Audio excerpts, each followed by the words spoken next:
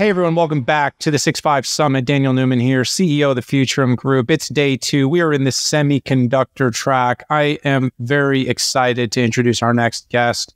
I got Sassine Ghazi. Sassine is the CEO of Synopsys, someone I've gotten to know well over the past several months as he took the helm of the company, and someone I believe has a lot to share about what's going on in AI, pervasive intelligence, in the future of silicon development, and so much more. Sassine, welcome back to the 6.5. Welcome to the show. So excited to have you here.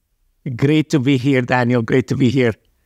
Yeah, it's a really interesting time right now. Things are moving very, very quickly. I attended your investor day pretty pretty recently, probably a few months ago now. It's crazy how fast time is going. Um, but I've been tracking the company, watching closely. You've been buying and making big deals. You've been selling off parts of the business that have been uh, seen as not in the focus area that you want to build around. Uh, you're seeing tons of demand and interest as AI and data centers scale. Look, it feels like there's never been a better time to be in semis. I mean, I just hit on the demand, um, the need for IP. The doors have opened up for so many new companies to participate. Um, you know, you've got a new national holiday every quarter called NVIDIA Earnings Day. You know, look, you're the guest of honor what are you seeing? Kind of, it seems like it's just a great time to be in this space. Daniel, it's such an exciting time to be in our industry. I mean, AI is absolutely a mega driver to big changes that are happening. If you look at the infrastructure build out that is taking place and that insatiable demand and need for more compute, high performance, low power in order to power up all these AI applications, and now you're seeing a uh, number of companies that are making investments not only from an infrastructure uh, training point of view, but AI on the edge, doing both training and inferencing on the edge.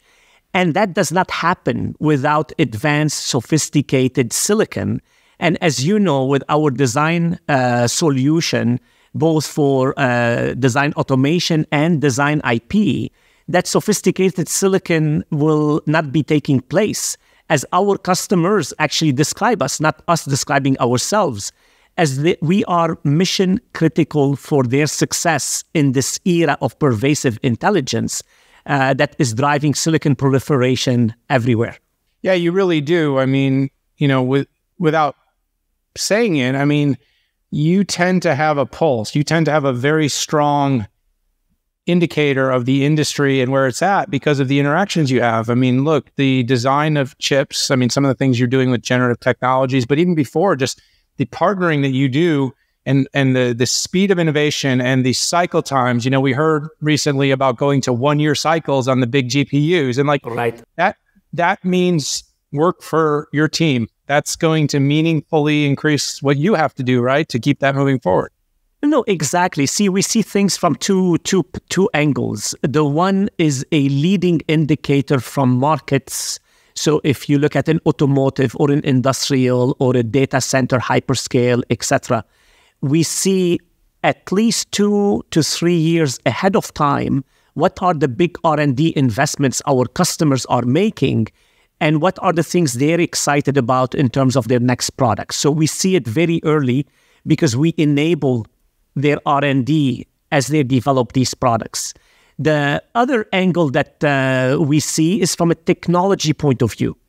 You know, all that silicon has to be manufactured on a certain technology, and we're the bridge between manufacturing and design.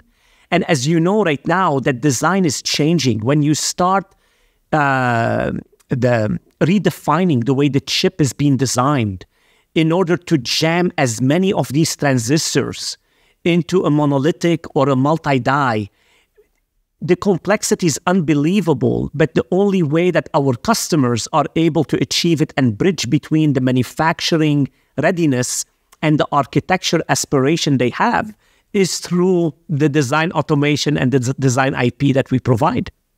Yeah, I think when when you see a lot of the sort of memes floating around about you know buy shovels, you know, yeah, uh, yeah. you know where the goal is. Well, you could truly say that Synopsys is a very important shovel in terms of digging out all this AI opportunity, and it's been very exciting to watch. And, and, and you know that's why I've been very positive in my my commentary is the numbers have been there, but also the technology that's been required to speed these cycles up, speed innovation, democratize the access to AI. I want to I want to pivot a little bit with you though. We've had a few conversations. We had the chance to meet in person. One of these days we'll do this in person. We've had the chance to have you on the record with me before, but for my audience out there, you you know, you've been at you said 28 years, so you're not new. You don't look a day over 27. so to your credit, but like you're five months now into this role as CEO of Synopsys. Talk a little bit about your first five months. You know, it's been such an exciting five months, and uh, exciting given the what's happening around us uh, as an industry. And as you know, and you and I, as you said, have talked about it a few times. Uh, stepping into the role, we made a couple strategic decisions. One is to sell off uh, and carve out part of the business and really double down on the core. So we had a business in software security, which is roughly 10% of the company's revenue. Uh, we're in the process, actually, we have a buyer. We're in the process of carving it out. The, at the same time, we made a very strategic decision as we look at the world moving forward from what we call silicon to systems, and we can double click into it uh, we made the decision to acquire Ansys, which is a company we've had a partnership with them since 2017. So, about seven years partnership, and we want to take take that partner, partnership to the next level in order to drive it truly uh, a pathway for our customers as they they themselves are trying to serve their customer at the system level. Uh, so, so those are in the last five months big strategic decisions, while of course delivering on the current commitment we have for our investors. Uh, and as you've seen, we uh, uh as we reported Q2, uh, we raised the year again because we see nice momentum for our business.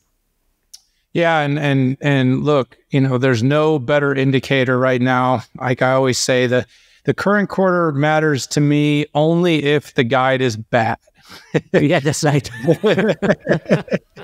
you know, I always say that. Yeah, great result, but like if the guide is bad, doesn't matter. It doesn't matter. That's right. Matter. It does not matter. Now, um, you know, besides those numbers, though, I think, like you said, you're just in the front end of so many of the important trends of where we're heading, and this AI trend is just so important. There's there is an exuberance about it, Sassine. I mean, there's an exuberance around AI.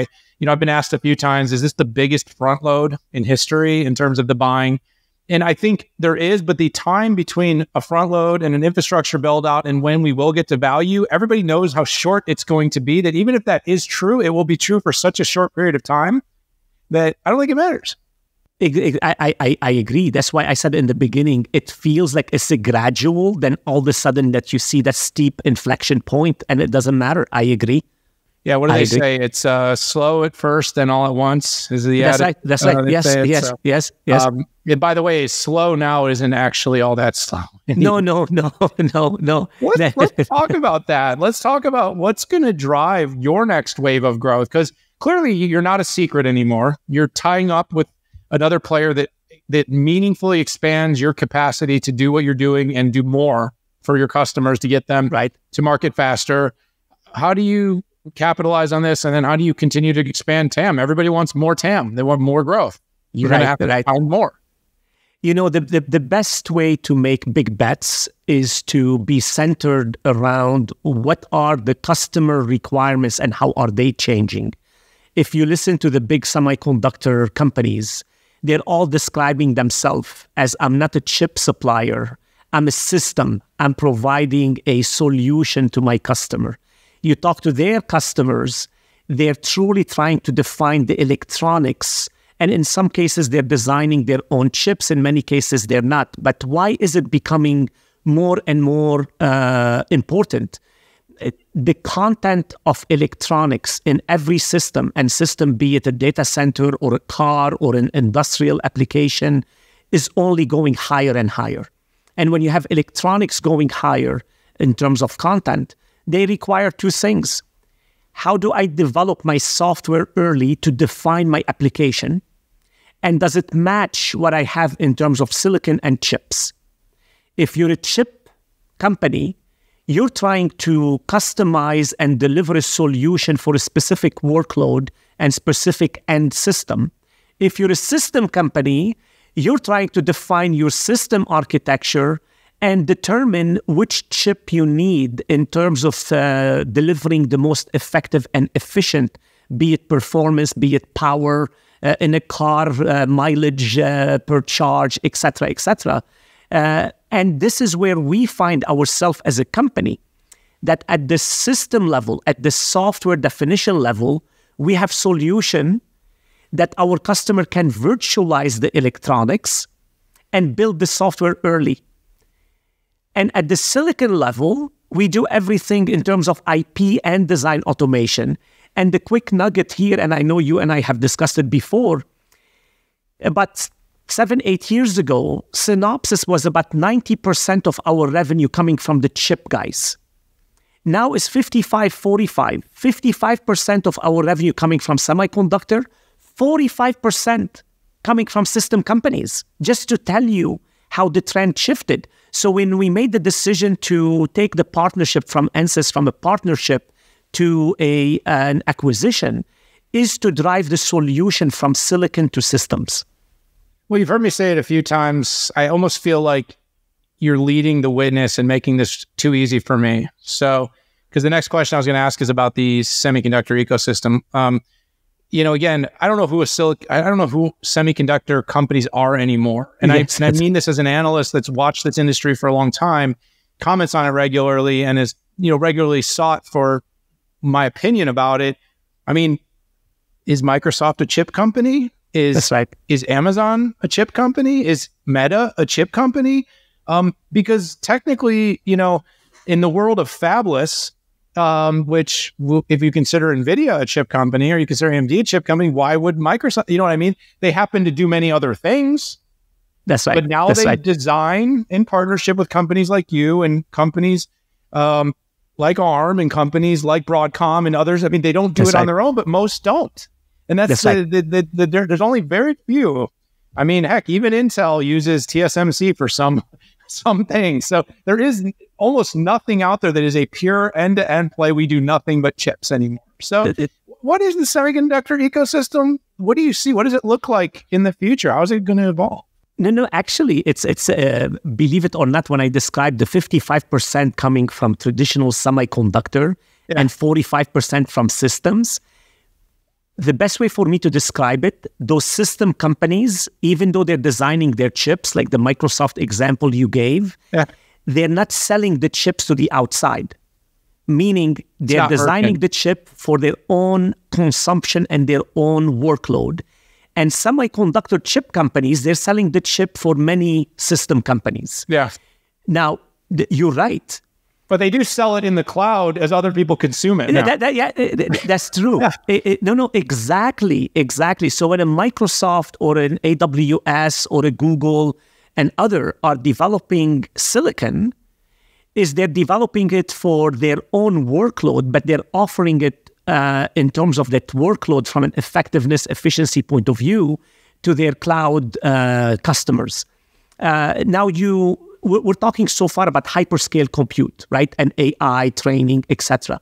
But if you zoom out and you look at other markets, automotive is actually a good example. Uh, even though you you see right now the shifting to the right in terms of uh, electrification, but there is no shift to the right in terms of um, having an, a, a more advanced ADAS system having a more advanced uh, infotainment and connected uh, and advanced electronics in the car.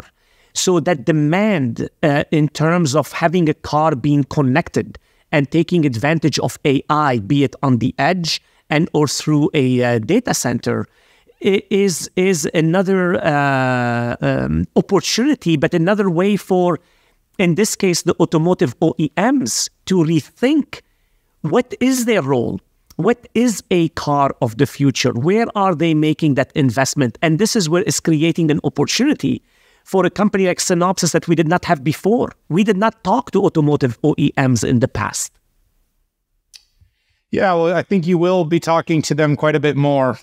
I mean, look, you know, we're we're about out of time here, Sassine, but uh, I think what you've seen Elon Musk do at Tesla, and of course not without help from partners. I mean, what we've seen, you know companies like Qualcomm do to build that design pipeline has shown that the uh, the car is an edge device and it is exactly. going to be a software defined silicon driven I mean look you should have called this session silicon or semiconductors will eat the world. In 2019 I wrote that as my 10 predictions for 2020 before the pandemic I said 2020 silicon will eat the world.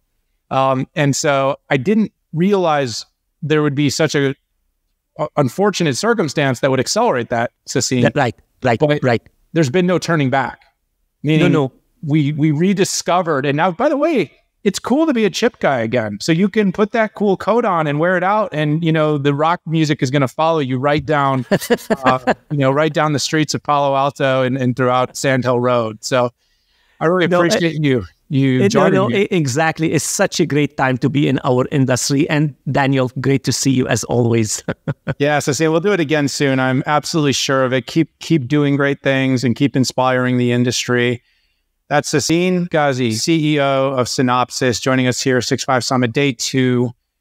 Stay with us for more covers. Semiconductors, chips are cool, folks. Lots of great sessions here. I'm going to send it back to the studio.